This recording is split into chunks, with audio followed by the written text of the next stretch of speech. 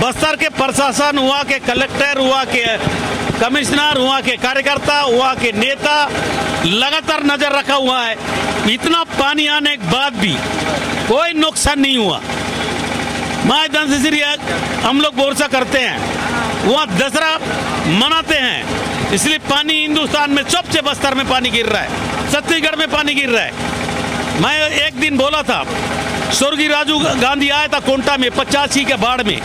वो एक ही बोला था, पानी को कोई मंत्री, संतरी नहीं जानता है। पानी को सिर्फ़ जंगल जानता है, आवा खींचता है। बस्तर का आदिवासी लोग जंगल बचाया, इसलिए पानी गिर रहा है। इसलिए बस्तर का आदिवासी लोगों को मैं बधाई देता हूँ।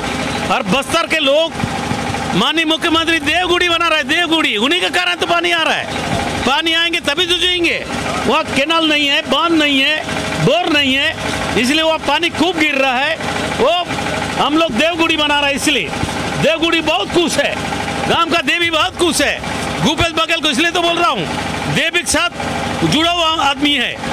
ये कभी कोई समय में इनका पुरखा आदिवासी घर में पैदा हुआ होगा।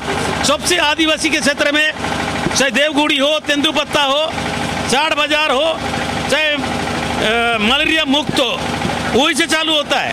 इसलिए पानी खूब गिर रहा है। मैं बधाई देता हूँ भूपेश बघेल का साहब को, मुख्यमंत्री जी को, हमारा धनश्री माई को, मैं नमन करता हूँ।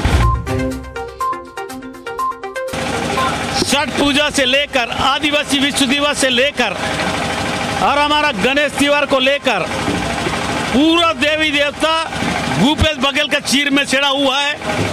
भूपेश बघेल छत्तीसगढ़ का भगवान है। तो इसलिए इस टाइप के बात करेगा वो ज़्यादा दिन नहीं टिकेगा, क्योंकि गौ माता हिंदुस्तान का सबसे बड़ा माता है।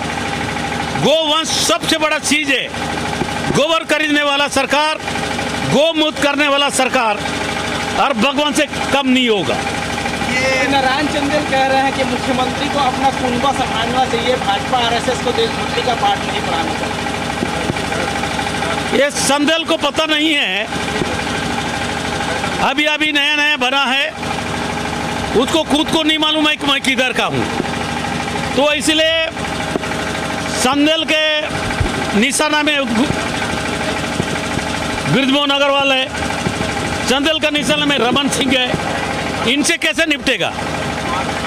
और हमारा धर्मदलाल कोशिक बहुत गुस्सा में है। ये खुद ही निपटे पहले। अपने लोग इसको निपटाएँगे। हमारा ज़रूरत नहीं है। ये बीजेपी ने नई कार्यकारिणी बनाई है युवाओं को मौका दिया है। क्या लगता है युवा इन लोग की नैया पाल लगा पाएँगे? बहुत सी जनता पार्टी का आंदोलन मामला है। यहाँ के जो युवा कांग्रेस युवा क्या बोलते हैं उनका पार्टी के नेता साहू। मुख्यमंत्री का घर घेराव किया, उनको छुट्टी किया गया। आदिवासी विश्व दिवस में आदिवासी लोग को झटका दिया गया। एक है माफ़ करेंगे, साहू लोग माफ़ करेंगे। या साहू लोग का पिछड़ा वर्ग का बोल वाला है, आदिवासी लोग को बोल वाला है। आदिवासी को निपटाने के बाद इन लोग बसेंगे का ये आदिवासी लोग और साहू लोग निपटा देंगे। ये ज़्यादा बोलने की ज़रूरत नहीं है बस्तर में क्या है लगातार बारिश हो रही है अस्त व्यस्त हो जाना कोई अस्त व्यस्त नहीं है। बस्तर सुरक्षित है। बस्तर के प्रशासन हुआ के कलेक्टर हुआ के कमिश्नर हुआ के कार्यकर्ता।